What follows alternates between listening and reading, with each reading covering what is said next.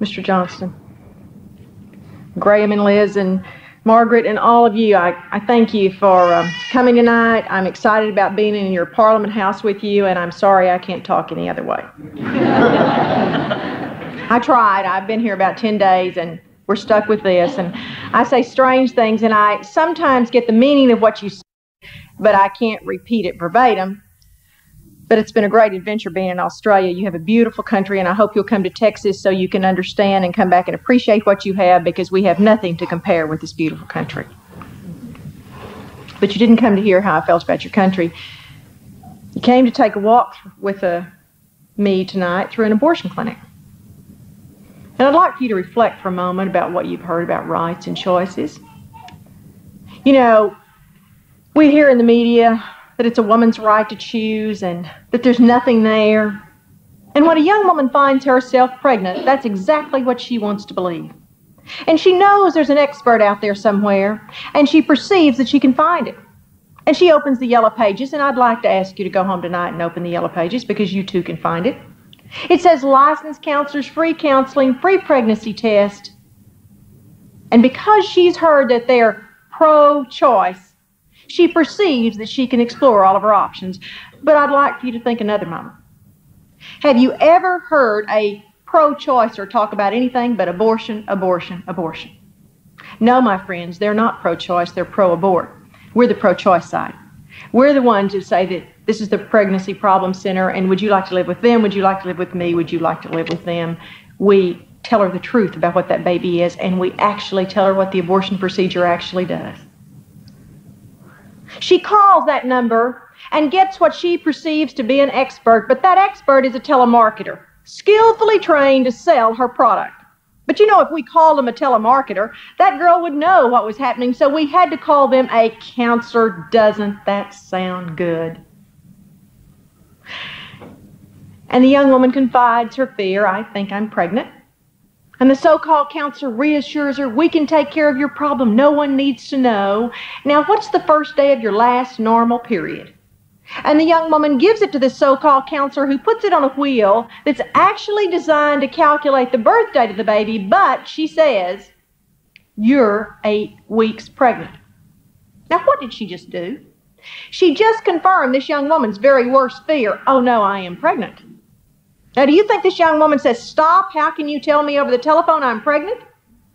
No, she's talking to the expert. And in her mind, that first seed in this long marketing thread has been planted. And the next question is Is this good news or bad news? What a joke. If it were good news, she would not be calling an abortion clinic. It's bad news. And when she replies bad news, this counselor moves in. We can take care of that problem now. Really, no one needs to know. And she's looking for the fear. She needs that fear to use it to reaffirm the abortion decision anytime the young woman moves away. And she starts with your parents don't have to know. Your husband doesn't have to know. You can do it on your lunch hour. You can take half an hour, an hour extra. Whatever it is, she finds the fear and they move on because now she can resell that abortion anytime she needs to. Now, the next question is Does the father know? Now, why is that poor old guy hung out here as the father? The mother's not a mother and the baby's not a baby, but here he is the father? What are they saying? What are they saying? They're saying, take your guilt, take your anger, blame him. It's his fault, not yours. And we affirmed it all the way, reaffirmed it all the way through the abortion clinic. Did the father come with you? Did the father give you money? You know what that is? That's setting it up so she'll blame him. And that's exactly what we're seeing in America. 70% of these relationships are breaking up 90 days after the abortion, as my own marriage did. And also, my friends, it's that wedge in God ordained relationship between man and woman. Now, the next question is money. It's $270. Now, calm down. Don't panic now. Wait a minute. I know you're not thinking logically. Do you have a checking account? Oh, well, maybe you have a savings account. You don't? Now, wait a minute. This is what we'll do. You go to all your friends. You know, you can borrow five, ten, twenty-five dollars. You can get a part-time job and pay them all back in six months or a year. When you get your money, call me back. I remember so clearly the young woman who came in with a big bag of coins. Now, she could hardly hold it. She didn't have a dollar bill in there, but I didn't want to pay someone to count her money. I wanted her to count it. It would cost me an hour's worth of employees. And so I made her count it out in dollars, and she was three cents short. I would have gone to the back. I would have gotten the three cents out of my purse. I would have paid it. I wouldn't have let her walk away for three cents. But this young man that overheard it in the reception area didn't know that, and he jumped up and said, Here's the money, do her abortion. My friends, the next time someone talks to you about how great abortion is, you ask them if abortions are so good for women, why aren't they free? Because this is the largest unregulated legal industry in my nation today, second only to drugs. You see, drugs are illegal. But we know they amount to $72 million a day. We can't guess what the abortion industry amounts to because it's a mostly cash business. And, you know, we kept two sets of books one we reported, one we didn't. And we didn't report any of our deaths or major complications. Come on in, and she's greeted at the door. And we let her go back because we knew it was a powerful sales tool to watch her own pregnancy test turn positive or negative. And we'd let her see this chart on the wall and say, this is a positive test and this is a negative, and see your test is positive. Now you have to be very careful now. You don't want to seem too abrupt, too harsh, and so you reach out and touch her. Do you have your money? If you have your money, we can do it right now. And if you have your money, it'll all be over. And the sooner you do it, the easier it is. And the pressure is on because we knew clearly that if she went home, a friend, a family member might tell her abortion wasn't the answer and we'd never see her again. So do it now. And too many of those young women went right up to the front.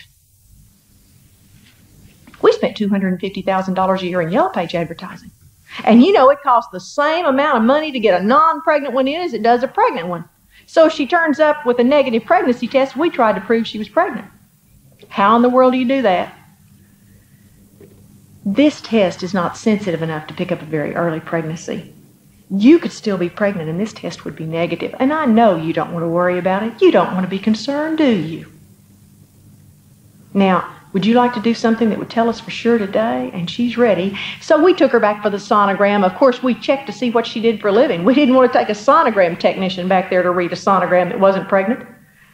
So we'd get her on that table, just get a shadow on the screen, lock the screen in place, and then flip it around and say, See there? There it is. You're pregnant. This girl doesn't know a pregnant sonogram from a non pregnant sonogram, and this is the expert saying, You're pregnant, and then touching her arm and saying, Do you have your money? Can you do it today? Oh, I know what you're thinking. How in the world do you do an abortion on a woman that isn't pregnant? Well, in order for the abortionist to get his commission, he has to have a specimen for each one, and he has to have tissue, and so he just scrapes out more of the lining of the uterus. Now, I know some of you in here may be infertile, and if you are, please don't take this wrong. We know that we've had infertility around since Old Testament days. But have you ever thought of the new high rate of infertility we're seeing in our countries?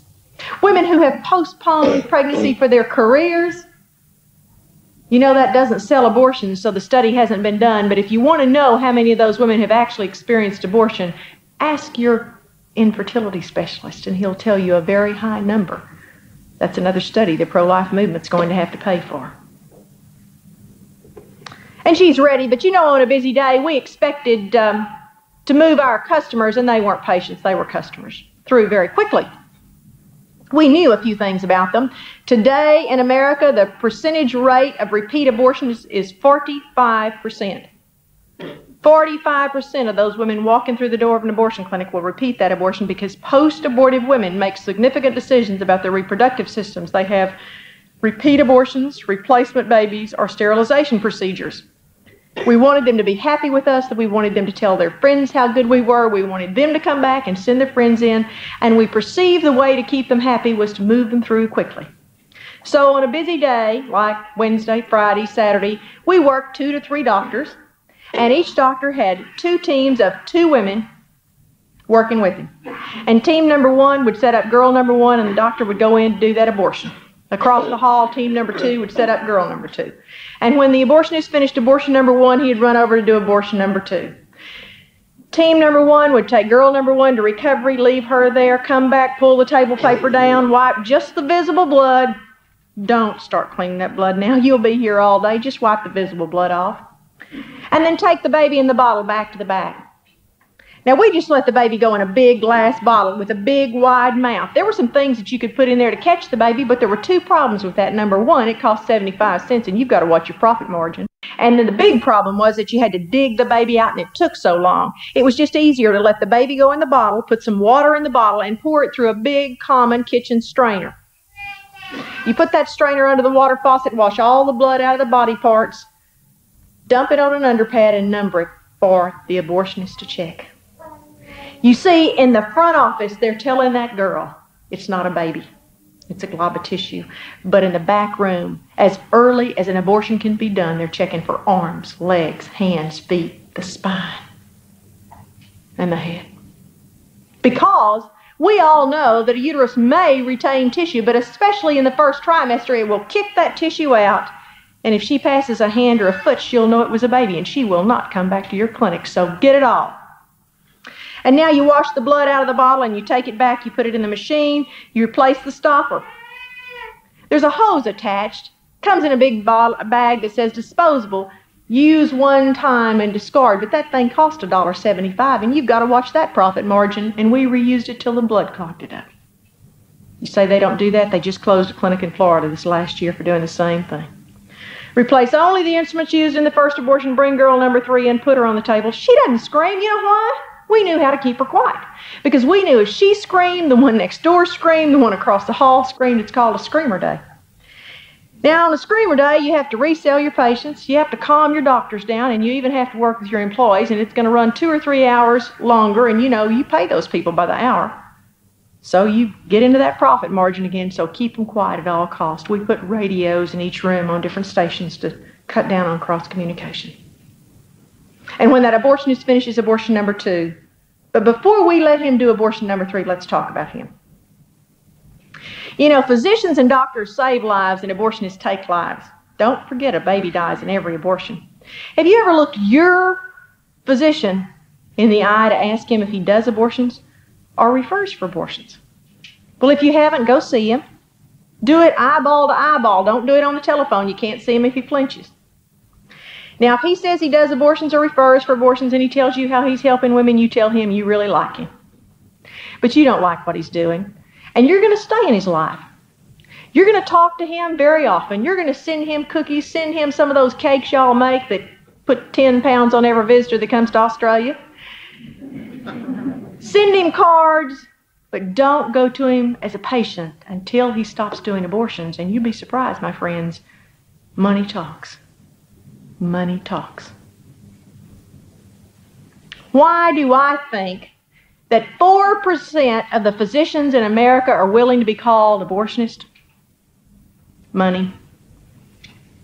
Money. You know, in America, abortion is legal from the moment of conception until the moment of birth. I did not stutter, I said birth. An abortion will cost from $250 to $8,000 as advertised in the Los Angeles Times Herald for a third trimester abortion. The abortionist will make a third of the fee in the first trimester and half or more in the second or third, but we don't want to talk about America because I live there, you don't. So let's talk about Australia. And let's don't talk about the big money, let's talk about the little money the abortionist can make in Australia. You know, in Australia, the abortionist actually makes more money than he does in America. A first trimester abortion in America will pay an abortionist $75, but in Australia, he makes $190. But he can do 10 to 12 an hour. Now, 10 times 190 is $1,900 an hour. 12 times 190 is $2,280 an hour.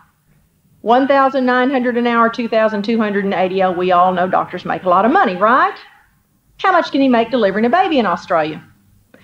Well, a general practitioner is paid $340, but an obstetrician gynecologist is paid $550 for a delivery. But remember, my friends, you know how you are when you're first pregnant. You rush to the doctor because you're kind of excited, even if it's not good news. You adjust to it. You, the doctor does all that lab work. Then he sees her every month, every three weeks, every two weeks, every week, and every day if she has trouble. Then she goes into labor. He's on call from half an hour to 12 hours. She finally has the baby. Now she's in the hospital for three days. He has to see her every day. She finally goes home. He can file his insurance. And then she comes back for her six weeks checkup. God bless her happy little heart with an hour's worth of questions. And if he only had 10 hours involved in her, and he was paid that obstetrician's fee of $550, he'd make $55 an hour. But he can do abortions and make 1900 to 2280. My friends, that's what abortion is about in Australia.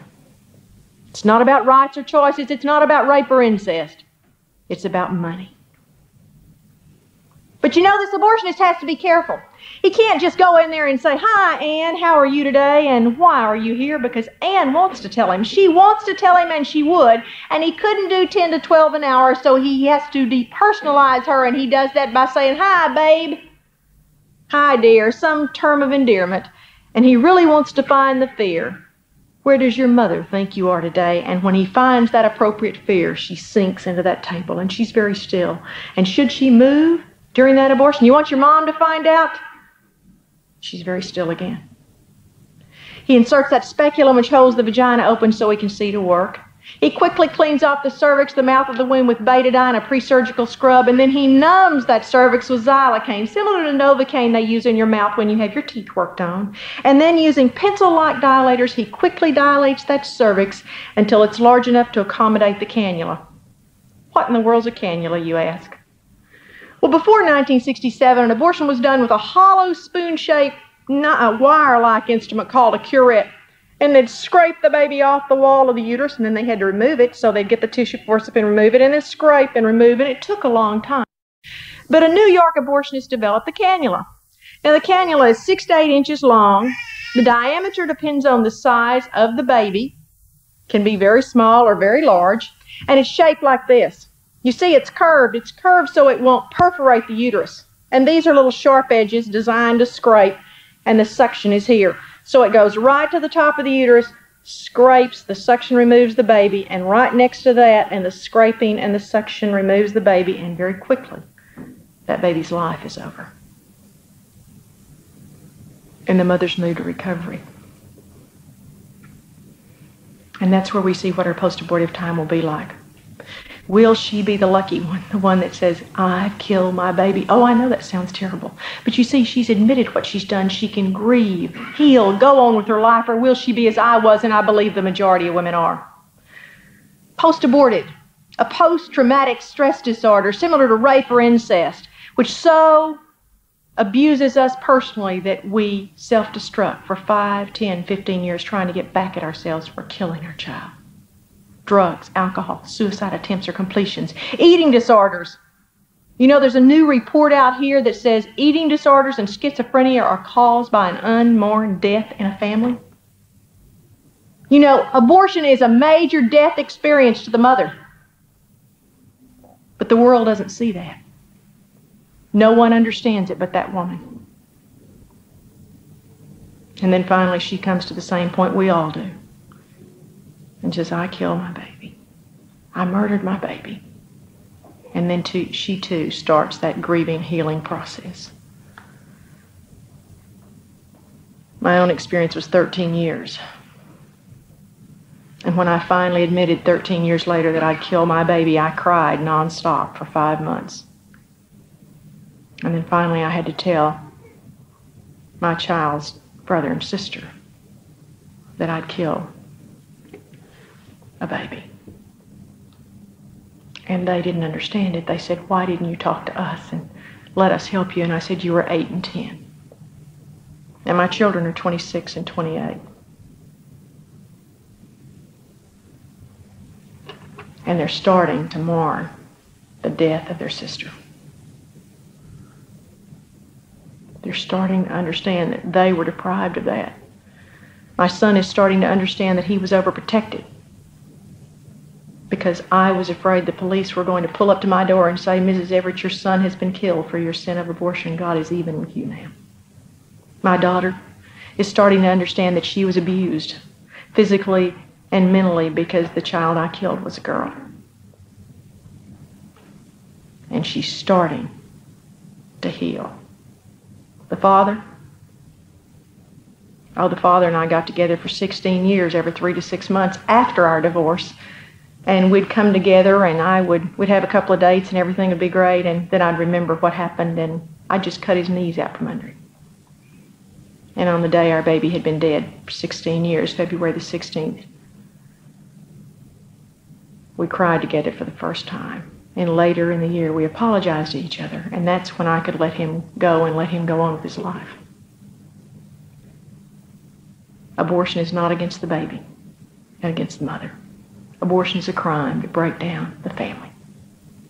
It's designed to destroy the family unit of your nation and mine, and it's doing a marvelous job.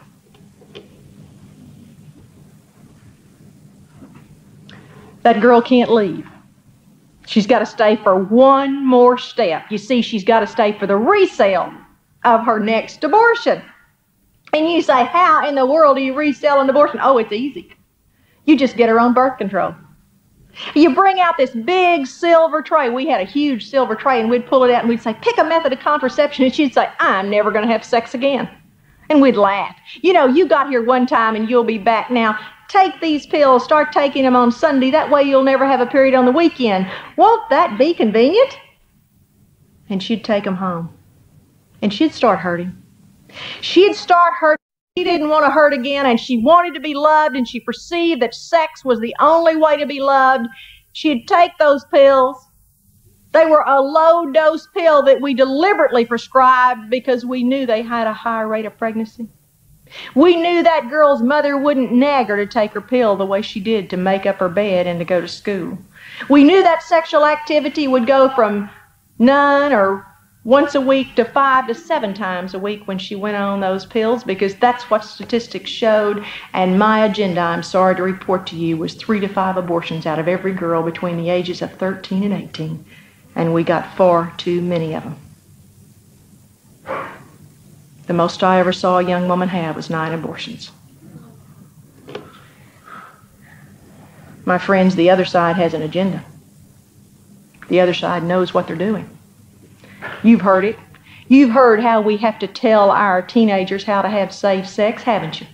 You've heard that we need sex education in the schools. Well, look at the statistics in America, my friends. They show that everywhere they've gone in and installed their safe sex talk, that the pregnancy rate has gone right up, the birth rate has gone right down because the abortion rate has gone up. You see, birth control sells abortions, and I knew it. It's a bigger fight than we want to talk about. You say, oh, Carol, that's terrible. That's terrible. I never dreamed. But you know, what can we do? Well, I'll tell you, you're going to have to do a lot. We need more men like this. You may have to run. You may have to run for office. You may have to get involved in the hospital board. You may have to get involved in the school board. You may have to be the one that's in there finding out when the people are coming in and showing the film. They showed in my best friend's 16 year old daughter's class, 16 years old, Lake Highlands High School, pornographic movie. Full color, heterosexual couple having sex, homosexual couple having sex, elderly couple having sex, and a handicapped couple having sex. And when the kids protested, they laughed at them, humiliated them, they shut up, and before they left, they were required to put a condom on a banana. Yes, the parents came the next day, but my friends, those pornographic images were in those minds. And a feeding frenzy broke out. We've got to police them on every level. And you're going to say, oh, you know, I've got a job. I've got a family. I'm busy. I know you are. You are the average pro lifer. You know, the other side's a little different. They get paid to do what they do. I used to pay my employees to make five phone calls a day to elected officials. I didn't care what name they used. I gave them the name of the bill and I wanted them to tell them they supported it. I also made them write five letters a day and they got paid to do it. We come home after we've worked all day, we take care of our families, we get them to bed, we fall in bed, and we don't have time to write letters. It's time to start writing letters. Mr. Webster needs some help. And you can stand up. You say, Well, what can I do? Well, let me tell you, I don't know. but I can tell you how to find out. It's a prayer. It's a very simple prayer. God, what would you have me do to stand up for life? You see, if we come here tonight and walk away and do nothing more, we might as well have stayed home and slept. But if we come here tonight and learn what's going on in the abortion industry and take it out of those doors and multiply, that will succeed. Oh, we're going to win anyway. God's on our side and we're the only side reproducing. But we need to do more than reproduce. You know, you can multiply in your own family. I just got my whole family converted to pro choice. Now I'm having to convert it back to pro life. In your workplace, you can stand up for life, wear these little feet. They'll walk up to you and say, What is that, a hang ten symbol? You say, No. Those are the feet of a baby 10 weeks inside its mother's uterus. See that? Aren't they cute? You know that baby's heart started beating 18 days after conception? Did you know that baby had a brain wave at 40 to 42 days? Did you know that everything was present and nothing but growth happened after the third month? Personalize that baby. And yes, my friends, you can multiply in your church. One out of six women in the pews of American churches is post aborted. And you know what the pastors say to me, Carol, I can't preach on that, I'll hurt them. Please hurt me so I can heal. Please hurt me so I can stand up and deal with it. We need you. We need you very badly now. Yes, we're winning the war in America, but it's a slow, hard fight. And what we have seen that one thing has succeeded in our nation and it's that grassroots movement. And that doesn't mean you, my, me, my friend. That means you and me. You see, we're called to work together. We're called to join forces. Prayer. Graham and Liz. Out in front of that abortion clinic picketing. Helping those young women continue those pregnancies. Or maybe you'll be one of those people that will walk in the doors of the Parliament House and educate those elected officials but it's going to take us all. I don't know how this got so heavy, but it did. I try to tell a few jokes in between, but I didn't tonight. So I am open for questions, and I really would like for you to answer any questions you'd like. Ask any questions you'd like, and I'll answer them. Answer any questions. I'd love that. Someone? Yes. Um, should any of the girls just. I presume it's from hemorrhaging or blood poisoning or whatever happened after. Um, do any of the families or maybe the fathers of that child, do they come to the clinic? Do they approach anybody there at the clinic? Or it's just not spoken about? Or what happens in that case? That's a very good question. Carol, would you just repeat the question so for the video? The question is, uh, what does, if a, someone dies, and I'd really like to go into several things that I didn't say. One out of 500 women either died or had major surgery, hysterectomy, colostomy, urinary tract repair, major life-changing surgery the last 18 months I was involved in the abortion industry. And part of the question was, did any of the families come back? And the truth of the matter is no. You see, there's a built in cover up. Think about it. They don't want to come forward and say, This is what happened to my daughter, this is what happened to my wife, this is what happened to my girlfriend. You see, they're doing everything, everything they can to deal with the situation. They want to keep it quiet too because you and I both know there's a social stigma attached to this. And it goes unreported. We never reported one of those deaths. We were careful. We got the woman outside the clinic before she died in our clinic, so we could always say we'd never had a death there. And we always told the girls that nothing bad had ever happened there, and that was a lie. That was an absolute lie. Someone else? Yes. Carol, uh, when you decided to uh, pull out of the abortion industry, was there any pressure put on you either to go back or to try to keep you quiet? When I pulled out of the abortion industry, was there any pressure to go back or to keep me quiet? There was no pressure to stay quiet because they really thought I wouldn't do anything. I had multiple offers to go back in the abortion clinic um, and much more lucrative offers than I left. Now, my commission was $25 for each abortion, which doesn't sound like a lot, but the last month we did 545 abortions, and 545 times $25 means my last month's income was $13,625. I would have made between 250 to 260 and 83 a million the next year because we were going to expand to five clinics so we could do 40,000 abortions so I could be a millionaire. I had a much better offer than that. But when I walked out of that clinic, we were caught doing abortions on women that weren't pregnant.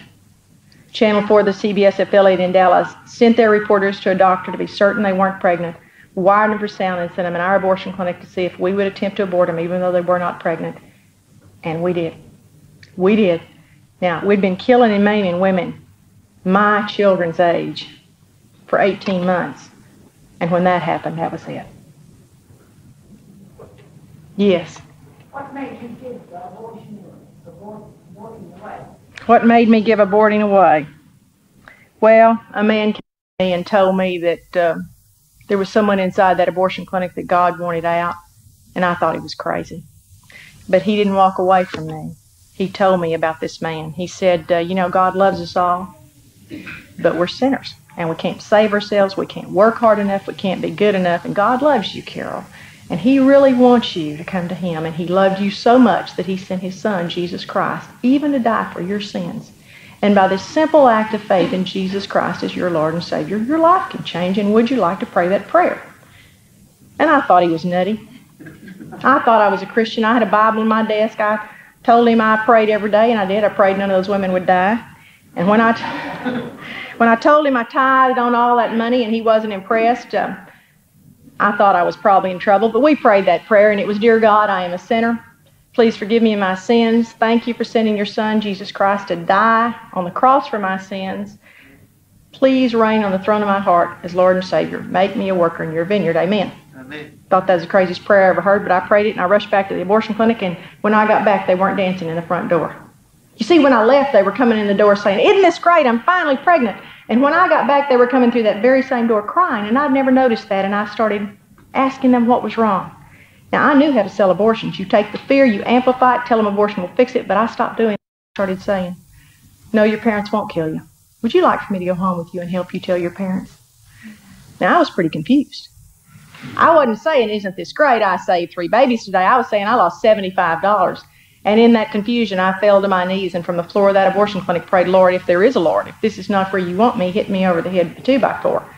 And that two by four was Channel 4 coming in and doing that expose on abortion clinics doing abortions on women that weren't pregnant. And that was a loud and clear answer to my prayer, and I left. And I've um, had a very interesting eight years. I was an eight year old Christian on Saturday. I left and was a very angry, hurting woman, and the man who led me to Christ and his wife spent some part of every day with me for 18 months, answering every question with Scripture. I'd say, I'm scared, and they'd say, God didn't give us a spirit of fear, but a power and love and a sound mind. And then about six months after I came out of the abortion industry, I found the 139th Psalm.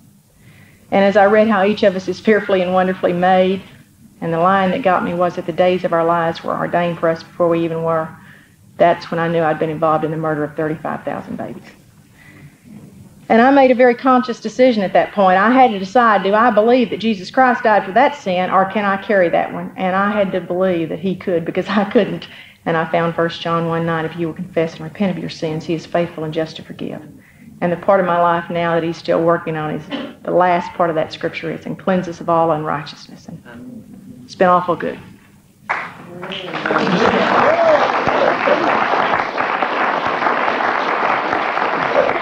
Did you have a question, sir? I think you just answered it. I was, Oh. going, I was going to ask if you still have memories that haunted you, and if so, how do you deal with it? But I think the last answer. You know how I deal with them. yes.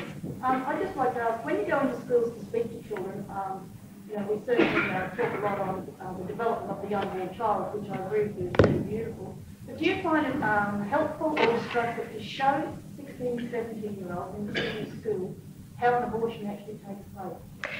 I don't show, the question is, do I find it helpful to show 16 and 17 year olds how to, an abortion takes place?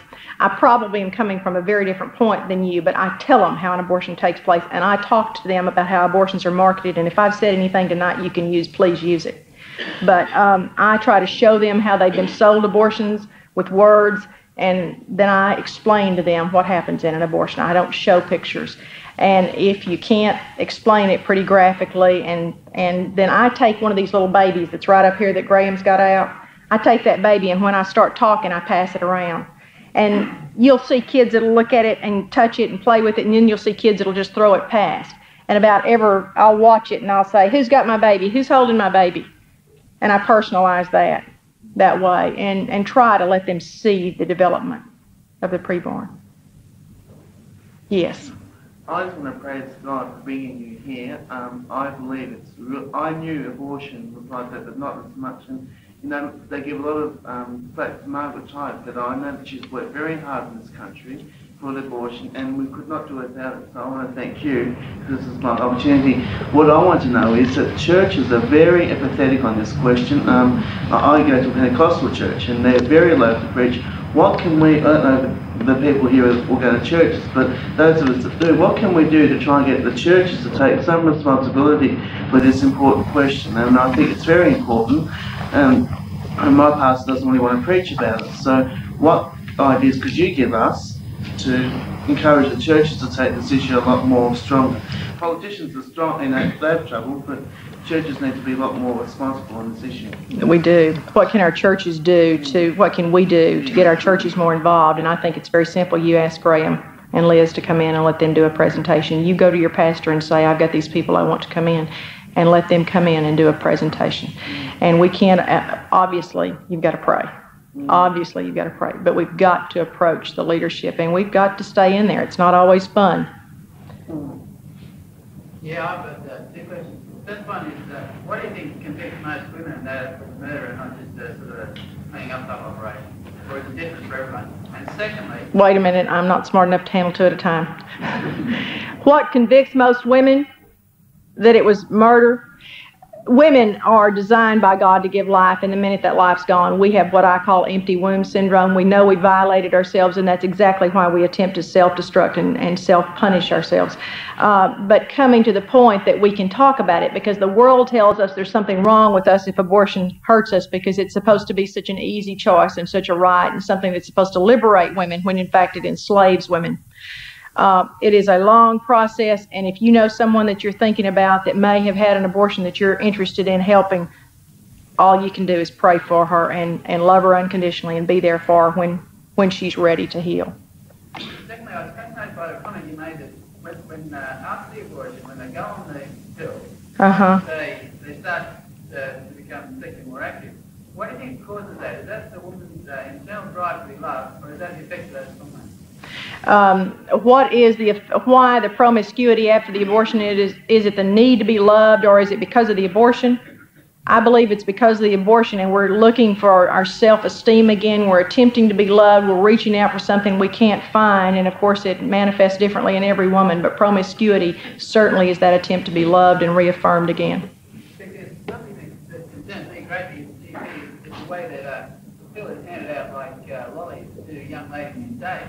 In fact, um, uh, on, on, uh, in in line with the sex education drive, there's a contraceptive drive.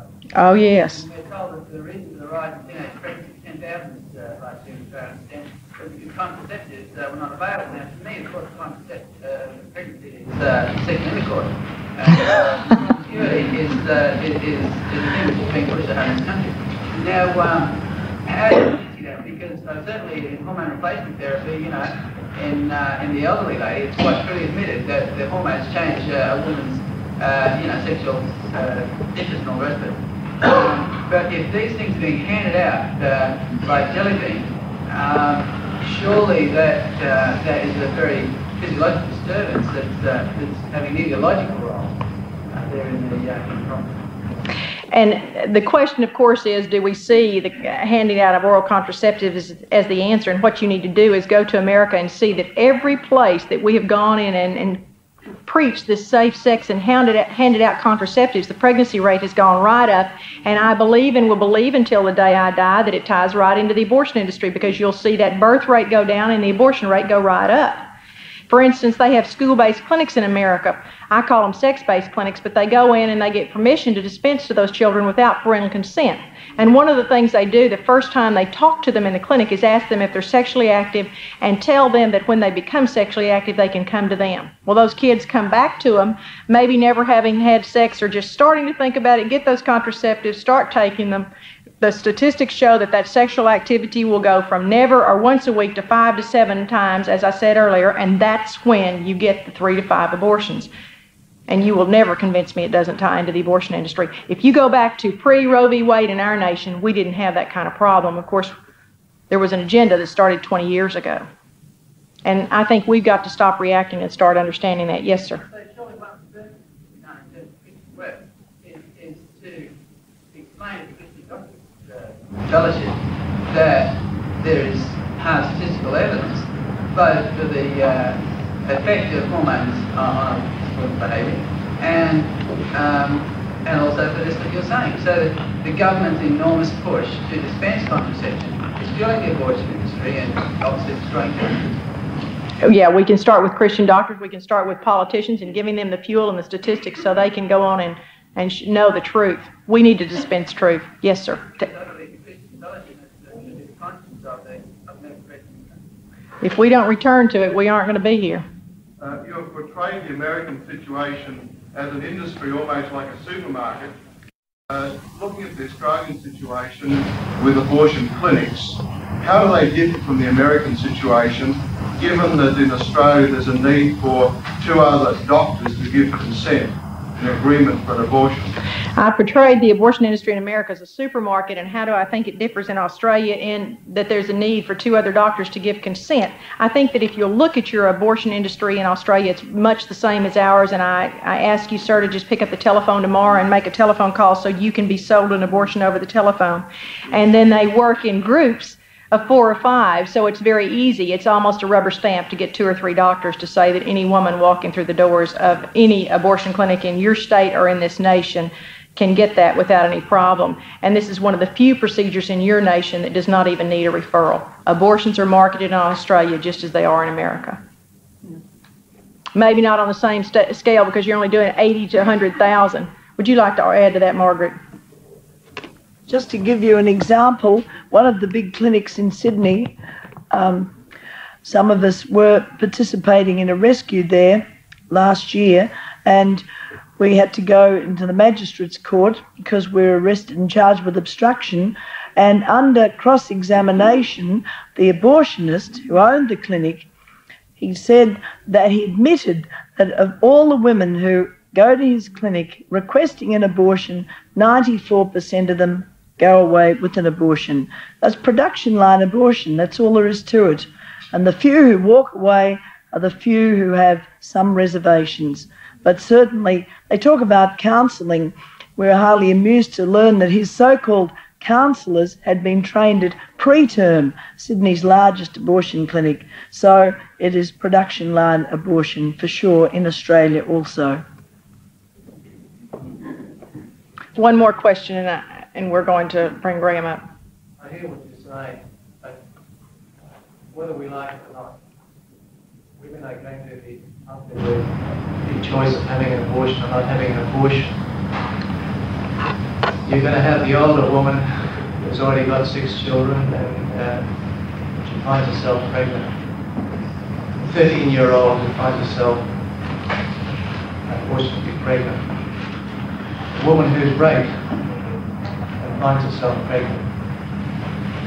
The woman who finds herself confronted with the choice of having a mongoloid child or not having a mongoloid child. What is our society doing? What are our politicians doing in providing those people with other options? They need to have the emotional, psychological and physical support well as the spiritual support that we can offer to enable them to make the choice. Somehow society has to look upon those women. The stigma of having a child out of wedlock, having or giving birth to a child that's born as a result of a rape, has to be less than the stigma of abortion? The question is, there are going to be the tough cases that we all know um, are less than, you know, 93% of abortions in our nation are for birth control. But the question is, what are we doing to provide for the, the tough cases, the hard cases? Well, it's not the government that's doing it. It's the pro-life movement that's doing it. There are problem pregnancy centers, pregnancy problem centers all over your nation who are there to help that woman walk through all of those things. Rape, abortions for rape in America are 0.006. And we have studies now that show that the woman who has been raped um, places that baby for adoption five years later, has completely walked through it, has readjusted to life and gone on with her life, and the woman who has had that abortion is still struggling and many times self destructive. Um, we have never been a nation, as you have never been a nation, that punishes the innocent bystander for the sin of the father. Why would we punish that baby that we clearly know is there for the sin of that father, and why would we traumatize that mother a second time? You know, tough questions, but the chance is difficult that any of us are going to, you know, think about it. Do you have children? And the first time your wife got pregnant, were you excited? Well, it, it wasn't a shock, and you didn't go, ah. Well, I'll tell you, I've been pregnant three times, and every time I went, ah. Now, two times, I walked through those. You know, I was 16 when I got pregnant with my son. You know, today, they would tell me to abort that child. It was tough. I'm not going to tell you it was easy, but I'm going to tell you that today he is 28 years old. He has almost two university degrees. He's a banker, and he's a pretty productive member of society. Now, he doesn't like for me to call him a product of conception, but I'm a real proud mother of that 28 year old product of conception. And I believe that life is the answer, and those crisis pregnancy centers are here to help them, and we're not asking for government support. We're asking them for the to come to us, and we'll take care of them. Now, they're always saying to me, Are you going to take care of all the 4,000 kids that starved last year? Yes, I am, and let me tell you why. Because I know the heart of this movement, I've seen it. You bring them to me, and I'll bring them to you, and we'll feed them all. Thank you very much. Graham Preston will be with you.